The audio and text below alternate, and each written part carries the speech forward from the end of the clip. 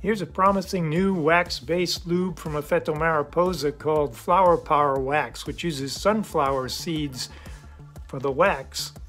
It just rated really highly on Zero Friction Cycling's testing.